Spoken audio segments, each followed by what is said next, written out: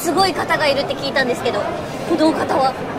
いやあのですね僕もねあのチャレンジいろんなレース出られる中でチャレンジさせてもらってるのをちょっとサポートさせてもらってるんですけど、はい。落合さんと言います。千秋さん何者ですか？何者でしょうか？えっと長距離を、えー、と得意とする、おえーランドナーズプラスプロジェクトの落合と言います。あ落合祐介です。よろしくお願いいたします。よろしくお願いします。で今回はあれですよね何何月でしたっけ？6, 6月？6月の13日ですね。アメリカに行きましてえっ、と4880キロ。4880キロ？なんて？アメリカ横断してきます。すごーえすごすぎますすごいです僕1000キロぐらいと思ってたんで。ちょっと桁が桁が聞いたことがなさすぎて、はいちょっと想像がつかない。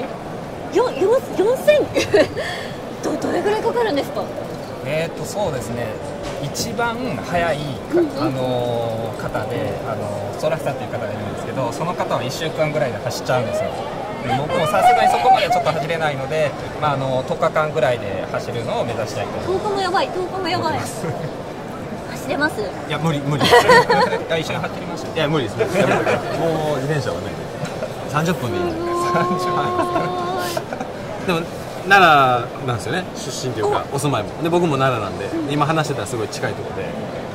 全然僕ね一緒に走るとしても僕は本当に1時間以内で。あそうか。ご近所さんなんでいつでも走れますよね。そう。でもでもそんな4800はちょっと僕1000キロぐらいって言ってたんで。奈良から4800キロ走るってどこに行けるんだろう。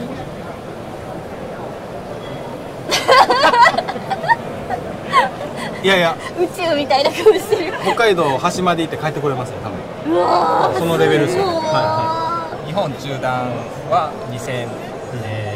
2480キロでしたね。そう言われると恐ろしさがすごい分かりやすいですね。すごすぎ。いやそんな落合さんも選ぶライトがキャットアイなの。そうですね。なるほど。キャットアイ使って大陸横断するんですかそうですね。あの今回はボルト400ネオ400の方なんですけどあのを使ってあの走りたいと思ってますなんで800じゃないんですか？ケチられたんですか？キャットアイに。